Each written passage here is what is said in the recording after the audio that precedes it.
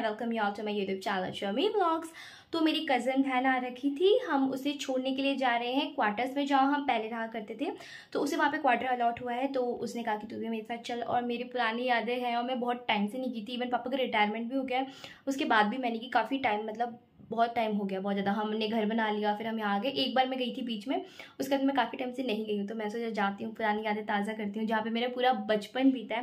मतलब मैं पैदा भी वही हुई थी सबसे लेकर तब तक टू थाउज़ेंड नाइन में हमने हमारा ये वाला घर बनाया था, और मेरी स्कूल भी वहीं है मतलब पुरानी स्कूल सेंट्रल अकेडमी भी वहीं है तो सारी पुरानी यादें ताज़ा करने के लिए जा रही हूँ। तो मैं आपको दिखाती हूँ कि कहाँ हम रहा करते थे, कैसे थे सी आर सी क्वार्टर्स जो मेरे पापा एग्रीकल्चर में जॉब करते हैं तो हमें वहाँ पे क्वार्टर अलॉट से। तो मैं दिखाती हूँ, मैं आपको आज मेरा बचपन कैसे बीता हाँ।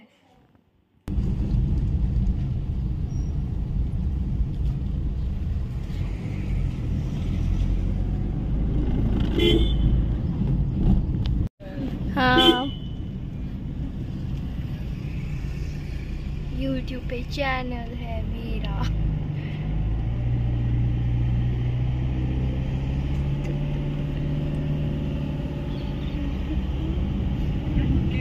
बात आ रही हूँ पे। ये खजूर के पेड़ अभी भी ऐसे के ऐसे लगे हुए पापा है ना? इसमें अभी भी खजूर उगते हैं? खजूर अनुसंधान केंद्र है भाई ये। चार लाख के ओ माय गॉड बड़ी अमीर हो रहे हैं हमारे ऐसे की आ रही हो तो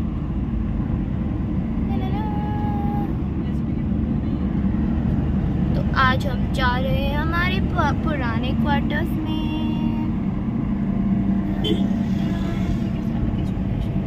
अब चेतक आएगा।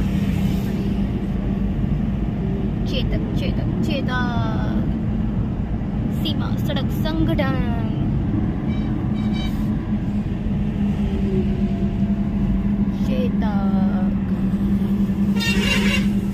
यहाँ पे तो मैं कितने टाइम बाद जा रही हूँ आज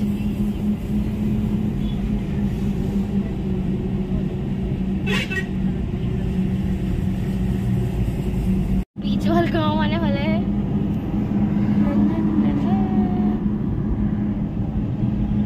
ये बीकानेर के बाहर भी तो नहीं बीकानेर में आता ही है ना? ये पापा बीकानेर के बाहर है? हाँ सिटी नहीं है मतलब। सिटी तो बहुत आगे रह गई। एकदम। बीच वाल में भी लगने लग गया कॉलेज ऑफ़ एग्रीकल्चर। यहाँ वो मंदिर आ गया है। इस मंदिर से भी खूब सारी यादें जुड़ी हुई है।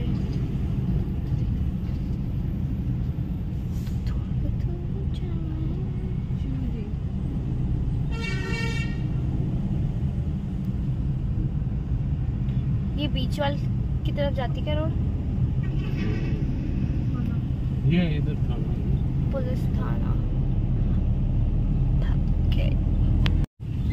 फाइनली अब हमारे सियासी क्वार्टर्स आ गए हैं। यहाँ रोड का काम चल रहा लगता है ना? हम्म। वरना ऐसे नहीं थी बड़ी चौड़ी। ये आ गया एग्रीकल्चर पापा का ऑफ़िस इसी के सामने है हमारी कॉलोनी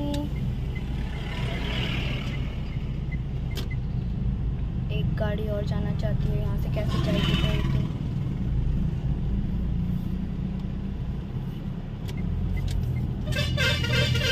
पीछे से ट्रक आ रहा है एक। पापा खड्डे में तो नहीं गिरेगी बच गए। कितने टाइम बाद। पहले हम छोटे थे तब ऐसे लगता था पता नहीं कितना बड़ा गेट है और आज ऐसे गेट छोटा सा लग रहा है। और ऐसे डर लगता था कि ऐसे पैर ना फंस जाए। इधर से ले लूँगी। हाँ।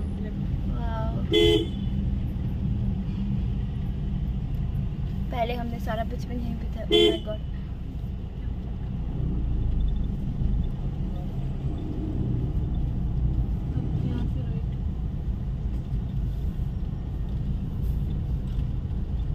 आगे हम आ गए हैं जहाँ हम पहले रहा करते थे सियासी क्वार्टर्स में मुझे बहुत ज़्यादा मुझे बहुत ज़्यादा खुशी हो रही है सबसे ज़्यादा खुशी कोमल को। तो कोमल कैसे लग रहा है? ये S S C R C quarter है हमारा बचपन यहीं भी था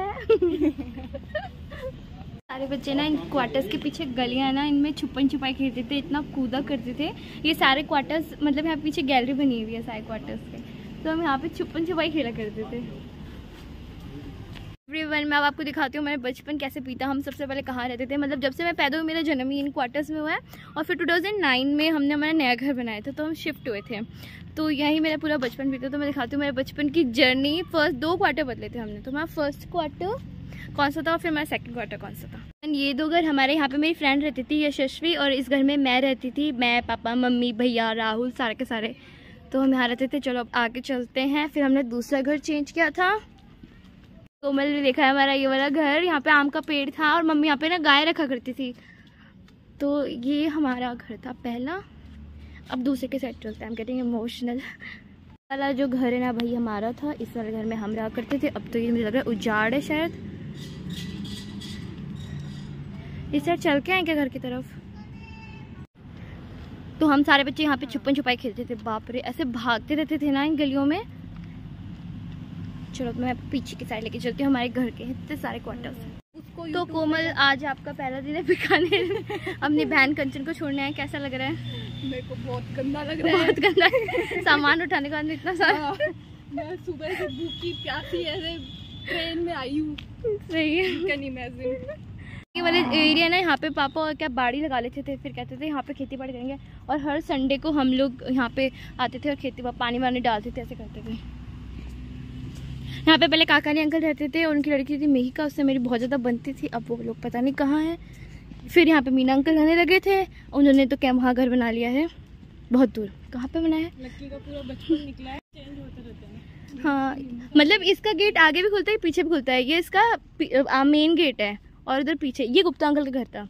ये हमारे गुप्ता अंकल रहते थे। चिप्पे चिप्पे और यहीं हम रहते थे। भाई हमारा घर है। जा सकते हैं क्या? उसमें कोई नहीं लगा अभी। वाह गेट भी खुला है। हाँ कोई नहीं है इसमें। और यहाँ पे हमारी गार्डनिंग ये नींबू का पेड़ लगाया हुआ है, हमने लगाया भाई नींबू का पेड़, इसमें बहुत सारे नींबू आ रखे हैं। जो स्पॉट है ना यहाँ पे, मेरी एक फ़ोटो भी है।